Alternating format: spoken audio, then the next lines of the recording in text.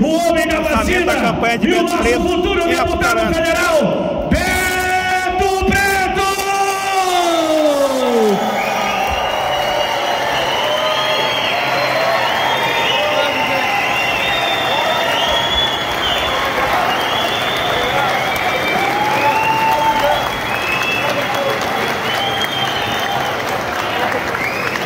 Beto! Beto! Beto! Beto! Obrigado, gente. Obrigado. Olha, essa 27 de agosto é histórica para Pucarana, é histórica para todos nós, mas eu quero olhar nos olhos de todos. Pedrinho, fica um pouquinho para trás, é isso.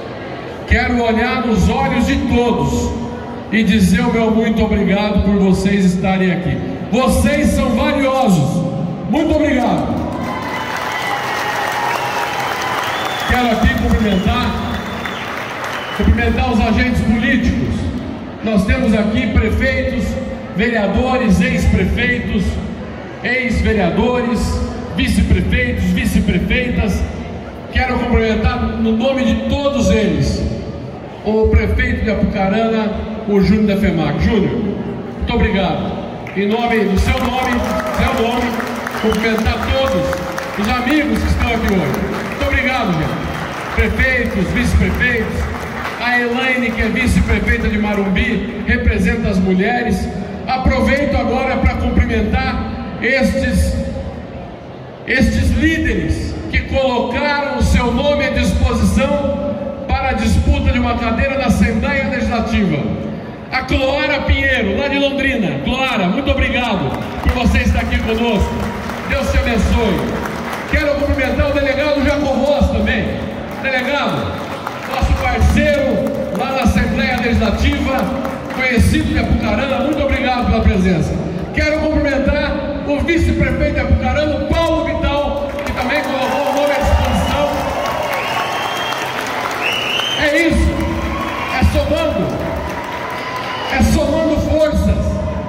E quero cumprimentar, gente, quero cumprimentar porque estão aqui também, hoje, muitos amigos, amigos que estão somando esforços conosco, amigos lá de Cascavel, como é o caso do Edson, lá de São João do Ivaí, o Ives, de Lunardelli, o Zé Mendes, e por aí vai, de todo o Paraná. Nós temos 200 municípios que estão junto conosco nessa caminhada.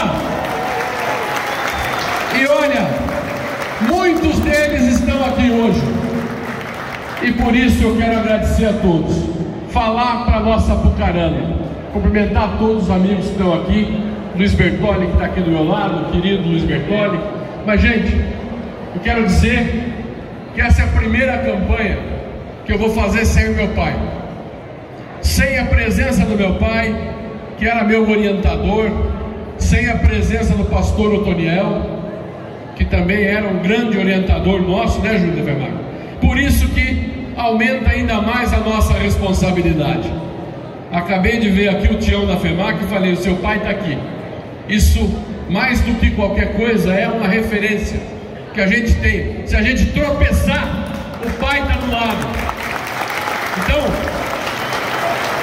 estou dizendo isso para demonstrar também o seguinte, gente, nós precisamos continuar colocando a pauta da saúde na frente de tudo.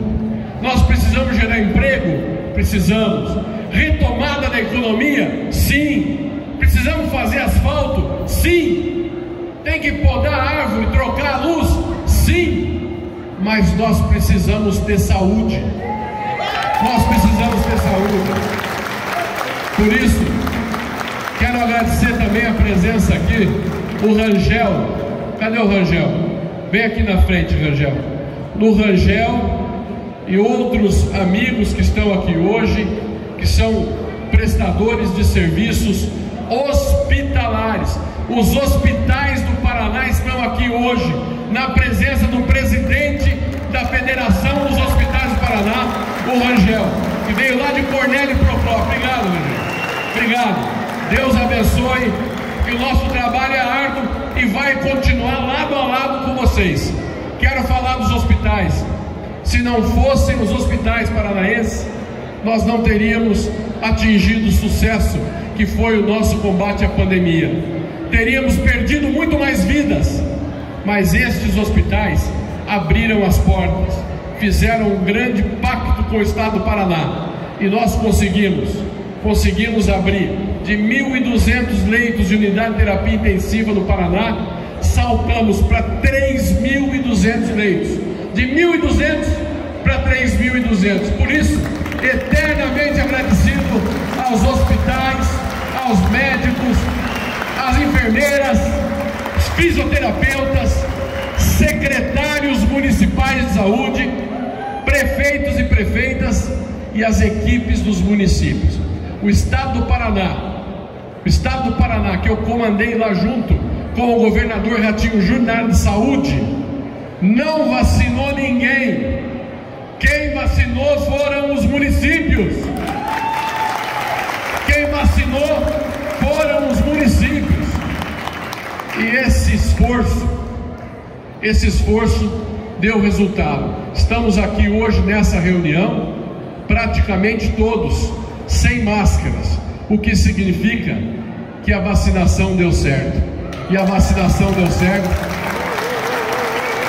porque nós todos tomamos a vacina. Mas foram momentos muito duros, foram momentos dramáticos. Falei agora há pouco aqui do pastor Otoniel. O pastor Otoniel e a sua esposa, dona Cleiri, perderam a vida para o Covid em abril do ano passado. E todos aqui que são de Apucarana, de Arapongas, sabem o quanto ele fazia diferença aqui com a gente. Então, a esses paranaenses que perderam a vida, os meus respeitos, mas nós estamos aqui para continuar o trabalho, para continuar em frente. Por isso, nosso lema é Vamos em Frente, porque nós vamos em frente.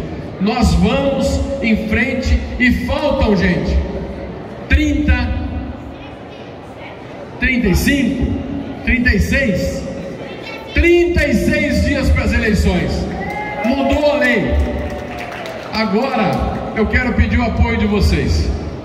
Eu quero pedir, quero propor aqui, e depois nós vamos fazer município por município, andando nesses últimos 36 dias.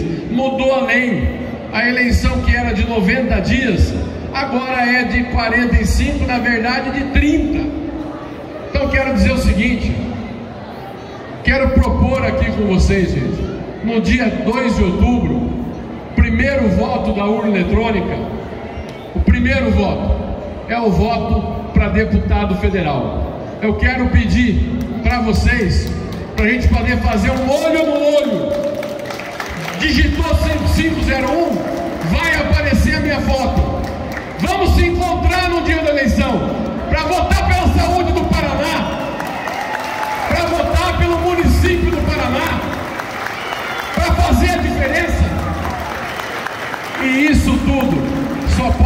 acontecer se nós estivermos nessa vibração, nessa vontade de fazer a diferença. Sou agradecido a todos por ter chegado até aqui, até aqui, hoje. Mas a minha gratidão não termina, porque nós vamos ter que trabalhar muito mais ainda, muito mais, para poder fazer valer tudo aquilo que o paranaense precisa na área de saúde. Não é fácil, um deputado só não faz isso.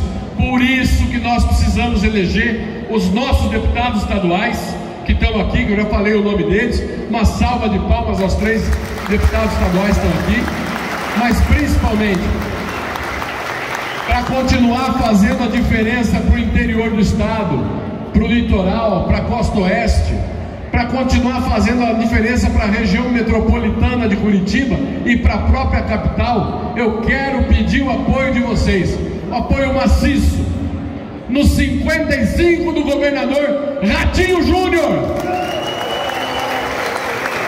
Sem ele, a gente Tem um não consegue trabalhar. da Só viemos até aqui.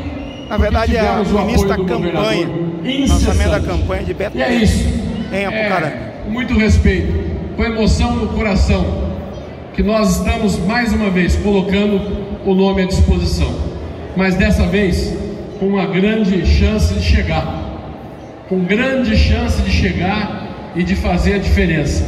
Então estou vendo aqui amigos de todos os lugares, estou vendo aqui o meu sogro que está ali, o seu Jaime, o seu Luiz Irosa, o Tadeu de Jandaia, está lá o meu primo Albino Preto Júnior, veio lá de Terra Boa.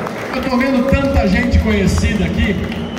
Se eu ficar falando muito obrigado até amanhã, eu não venço. Mas saibam, no meu coração, o agradecimento que eu tenho por todos vocês. Que Deus nos abençoe a todos. Que nós possamos estar juntos, pedindo o voto de todos. Estou vendo o Sérgio Barroso aqui também, nosso delegado querido, amigo. Estou vendo que nós podemos fazer a diferença, mas precisamos muito do apoio de todos. Essa eleição é diferente. Às vezes o papel não chega, às vezes a, a gente não consegue fazer a visita. Muitas vezes vão, vão ficar sabendo pela, pela mídia social, ou um pouco pela TV e pelo rádio. Por isso, aqui hoje, quero pedir a vocês, nos ajudem. Precisamos do apoio de vocês para fazer a diferença. Primeiro voto, dia 2 de outubro, 5501, Beto Preto, deputado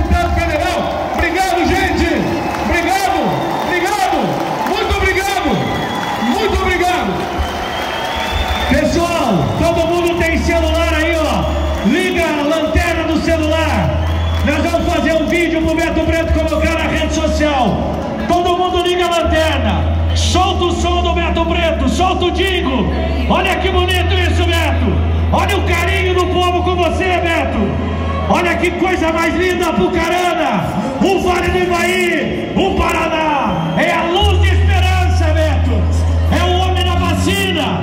É o secretário de Estado da Saúde, o melhor secretário de Estado do Brasil. É